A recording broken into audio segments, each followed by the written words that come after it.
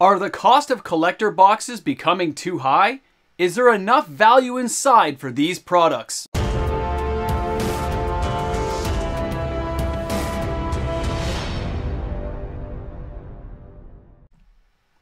Hi everyone and welcome back. MTG Moxman here. Thanks again for finding me in this nacho cheese universe that we call YouTube. And yes, today is a box opening video by 401 Games. They were nice enough to let me open this product and we get to experience the box openings of collector boxes with none of the risk. That's that funny thing about risk and reward.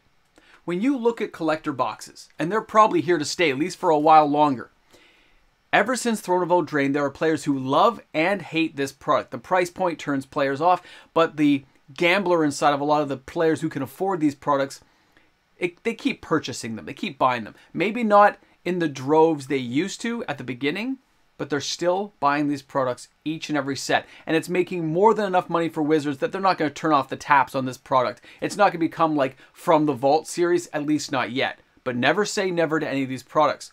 Now, when you look at this premium product and the way players and choose to indulge in this product, a lot of players just like watching the box opening videos. No risk, all the reward. You get to watch the video, you get to experience the openings, the excitement that goes along with finding a serialized card, a full art foil, and let's face it, March the Machines, this product does have numerous cards that fall in that 10 to $20 range that overall, you get a fairly decent box, you're going to come out ahead. Not to mention the foil extended arts, a serialized card, or any of the other big hit cards that can drive those prices higher depending on the version you have. On the other hand, though, you can get a bad box and you're going to zero and it hurts everyone involved. You're like, oh, I know that feeling well, guys. It's happened here on the channel. I'm looking at you, Baldur's Gate Commander Legends boxes. Remember that? That was brutal opening those boxes and getting no dragons, nothing good. You spent like 400 bucks in a box and you just got slaughtered. Wizards of the Coast still has a lot of fine tuning to find that equilibrium of value versus the cash flow they want, but that's theirs to hash out in the distance. Players themselves decide how they choose to indulge in products like this. Some players buy a single pack, spend the 40 bucks Canadian, just get a pack. Other people buy a box, split with some friends, share the profit margins. Others buy whole boxes or whole cases still. Depending on everyone's price point, they choose to indulge or not indulge in products like this. So in today's video, we're to go through this. We'll see how well these boxes do, how much value we can still find in March the Machines as we get ready for new upcoming products like, hey, we got Lord of the Rings coming up, Commander Masters down the road, and let's not forget the premium price attached to those products. We'll be testing new levels of players' patience and wallets. And then when we get to Aftermath, we'll see how that all pans out. I, I don't think it's going to go very well. I've seen a lot of downturn and a lot of negativity on that product, so I think Wizards will probably learn a lesson there, maybe a little bit of a wallet slap. We'll find out. All right, guys, let's get to this video. Slam some comments in the comments section. Let me know how you feel. We're back again for March of the Machines. Don't give up, because here we go. We got to try to find the most expensive cards in here, and then we just give it all back to 401 Games, guys. That's how it goes. Welcome back. I'm your host, MTG Moxman here. Thanks again for hanging out with me on the channel today. March of the Machines, March of Madness, however you want to say it, the set has some excitement. It has a story that people drove into. They said, yep, this is amazing. Reminds me of War of the Spark. Brings me back to the day. And now we get to crack packs and see if we can find the true value that is inside some of these sets. Let me just crack that back away. Up there. There we go. And of course, we're searching for serialized cards. We're looking for Ragavan. We're looking for Elesh Norn. We're looking for the Praetors. We got so many cool cards to hunt for that how can it go wrong, right? Well, if we don't get anything, I guess. The only thing I didn't put in here was the uh, kitchen sink and maybe some fetch lands. All right, thanks again to 401 Games for allowing me to open all these bad boys. Now, you guys know we get a little bit faster as we go along with these videos. I'll be putting the uncommons and commons in one pile just to save some time here. We'll get right to the rares. And man, some of these cards are nice looking artwork. We all know it's true. Others you're like, meh, it's okay. It's not that great, Mox. Oh, there we go. Starting out, oh, that can go over there. Starting out with Sheoldred, the Whispering One. Nice. All right, we'll put that bad boy there. You know what? It's funny when you see the old ones like that, and you see the new, like the Apocalypse one, you're like, ah, the Apocalypse is just better for me. I just like it, the lower casting cost. A lot of people feel that way. I know I feel that way. Here we go. All right, we got the uh, Breach the Multiverse. We got Rankle. Fynn the Fang Bear. Remember good old Fynn? He oh, poison counters. That was insane. Oh, we got hey, bro. That's like the uh, original artwork there. It's pretty crazy. You see him in that uh, kind of etched uh, etched foil. Remember when that was? Remember when etched foils were like? What was that? I want to say that was uh, Legends, the the Commander Legends one, right? Is when they first did that. It was kind of crazy to see it all happening, and we're all like blowing our minds. And now you're like, eh. Oh, there we go. Thalia and the Giga Monster, Giga Monster. And then we got some, uh, and of course Oceloth.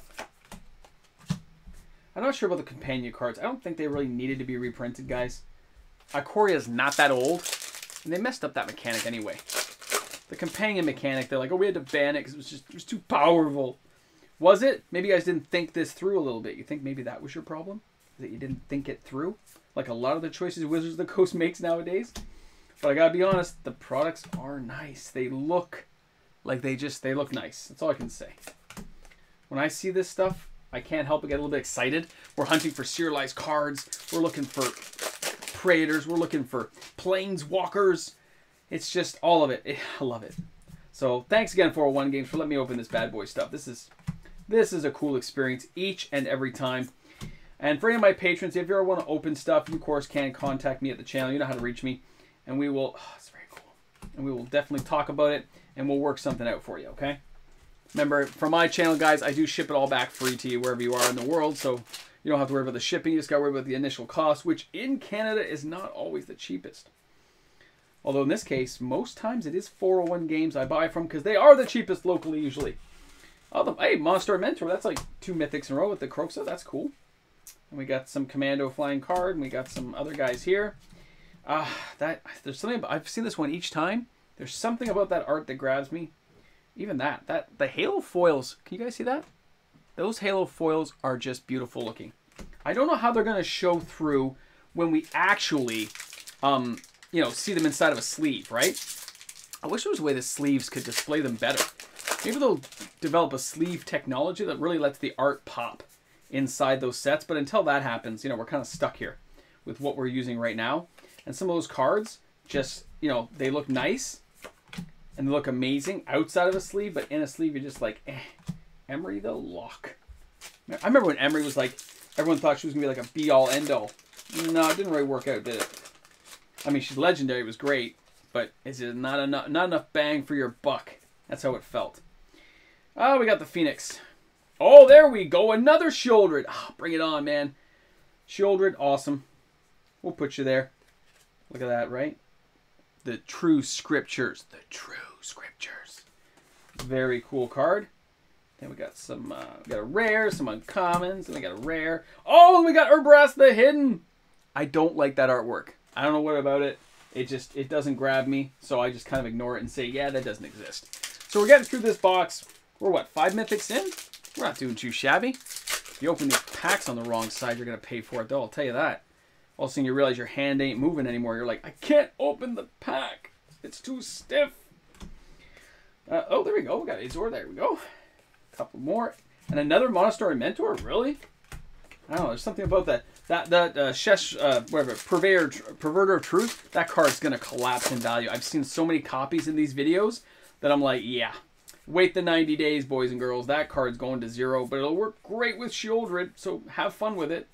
It'll be a good time for everyone, except for whoever's playing against you. Oh, there we go. We got we got flip Flibbit. We got Flibbity Flibbit. And then we got some other cards. I don't really care about the Grave Gardener. That art does not do it for me. The other art, oh my god. There's that one artwork that has that in it. It's gorgeous. I'm definitely going to pick that up just for the artwork. And that's sad to say. I mean, I'm not one to pay more for it. But I know there'd be so many of these hitting the shelves that if you wait long enough, if you're patient, sure. With Ragavan, it's so cool. And then the fire song. All right, we are eh, on the last pack of the first box. We're going to see where this one leads us. And I, okay, we got the Reborn, the Fire. Sure. So many Commander cards, man. And I think it's just a way of them fattening up the um, the card pool because you're, you're pulling all these extra rares, but they're all from the commander decks. I don't know. So this one here we had what six? We had eleven mythics though. including the commander cards. But still, it's 11 mythics in the first box, guys. That's pretty good. Let's jump down here to our second box right away. Let's hammer into it. 401, thanks again, man. Great stuff. Great stuff to be able to open this much product and be able to experience this firsthand. And I'll tell you right now, the boxes are a pain to open. Just such a pain. Some uncommons, and we got Eska. Oh, oh! Okay, in the etched, that is a good looking card. Wow, guys, can you see that? That is good looking. All right, Elesh Norn. Hanging out with us. We got to move these down, move these over. I made a bit of a mistake when I did the placement of the cards here, so we're going to move these ones around. That Elesh Norn was good looking. Wow. Very nice looking. And you know what? Definitely due for a reprint, so that thing's going to come down in price. If you own an original, I would still hold on to it. But I think, uh, ah, Commander 1, I think you still have um, value in the originals, but the reprint will definitely drag the prices down everywhere a little bit, making it more affordable for players who can wait it out. Wizards has definitely got to find a way to decide when to reprint, like an official schedule. And I don't think they're there yet. I wish they were, but I just don't see it happening, boys and girls. Want them to, though. That's why I keep talking about it, hoping that some Wizards employee is listening and says, yeah, that's a good idea. I don't think we'll get there, but I could hope. Dream and say, come on, you can, you can do that. You guys could do anything if you put your minds to it, which apparently they haven't yet. Oh, the Doomscar Warrior. Transcendent Message, Path of the Schemer. There you go. Couple of uncommons we don't care about. I mean, they're still nice looking. Oh, nice. Vorinclex in the Halo foil. That See, I want that to show through, and I still don't think it will, but I want that to um, show through in a card sleeve. Right? Is there any card sleeves that do that? I keep wondering this each video, so if someone knows something, put that in the comments section. If you know something I don't know. I'd like to know. You know what? Sharing is caring. Don't don't keep the information to yourself. You got to share that with everyone. Let, let them know what you think. Some more rares. We got Dax. I don't know why I put them in that pile, but that's okay. There's a lot of rares in that pack. That's what I'm saying. Like a lot of rares, but not tons of value. Because all these cards that people think will be, or used to be, especially for an old school person like me, in the last like five years, some of these cards have been devalued by reprints that it's hard to determine, hey, we got Thalia and the Gigatog. It's hard to determine which ones will actually hold value. Like Fynn's going to zero, right? Fynn's, oh, there you go, Thalia again. Oh, and Kroxa. Okay, nice. That See that? I'm not fond of that Kroxa, by the way. You guys see that one? It's it's fine. I like the original Kroxa better. He looks far more intimidating uh, on the on the original artwork. It's still fine, but it's just it doesn't grab me the same way. It doesn't grab me. Doesn't say I must have it, you know? Well, we're about halfway through this box. And I gotta say, value-wise, not bad with the amount of the types of mythics we've had. There's oh, there you go. And flip it. And we got a couple of rares coming in there. There we go, that didn't grab it. And like the Dream Den, I remember that used to be a pretty expensive card. Lurrus of the Dream Den. I remember playing that in arena and stuff and playing it with some friends on the weekends during when we were post probably supposed to be in lockdown, but I don't know. That was crazy times for everyone. Hey, it's Teferi's talent because he's so talented. And then we got Yargle eating his way through things. Then we got Rowan's talent. Sure, why not? Then Emry the Locklord, which, I mean, again, the Halo foil. That Halo foiling definitely stands out. It does look nice. I'm not going to say it doesn't. But that question remains. After the half year or so when all these other products come out, when Commander Master starts dominating the landscape, I'm sure if you guys just write down the cards you want, you will be able to pick up a lot of these cards for a penny on a dollar. Because money moves on, players won't be thinking about it, and you can just get past it and say, yep, I don't want to wait anymore. I can buy it now because it's cheap, because everyone's looking at Commander Masters or Lord of the Rings. Which I know those would be awesome sets, don't get me wrong. And 401 Games, I hope you let me open a ton of it. I will bring it back. Because that would be awesome. All right, let's see here. Uh, Urabrask. Okay, we got another Mythic. Got some nice... How many Fynn the Fangbear are we going to open, man? I feel like I'm opening that guy like every other pack at this point. Maybe it's just because I opened so many packs. You ever think that, Mox Man? Maybe. I think I can get some nachos and cheese after this, I'll tell you that. I think I, oh, oh, yeah, I put in my dues on that one. Okay, Freya, put those there. A couple in comment. Oh, see, this this was not a good pack. Wow, that didn't that didn't feel spicy at all. That felt that felt like uh, a plain hamburger from McDonald's that's been left in the heating oven too long. Tastes like cardboard. All right, here we go. Last pack of this video. Good luck to 401 games. Well, that wasn't a good start. Come on. Nope, we're definitely not looking to... Okay, we got Luria, the War Leader, sure.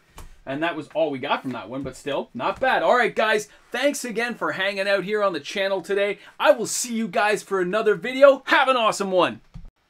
And of course, guys, a big shout out and thank you to all the fantastic patrons supporting MTG Moxman each and every day with video content creation. Without their financial support, videos like this just aren't possible. So thanks again, guys. You rock, patrons!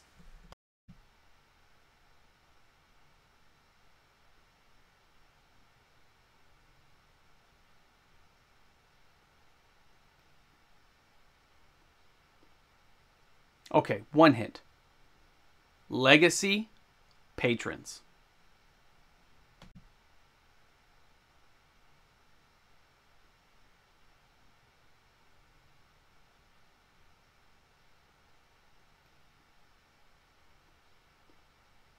Okay, one hint. Legacy patrons.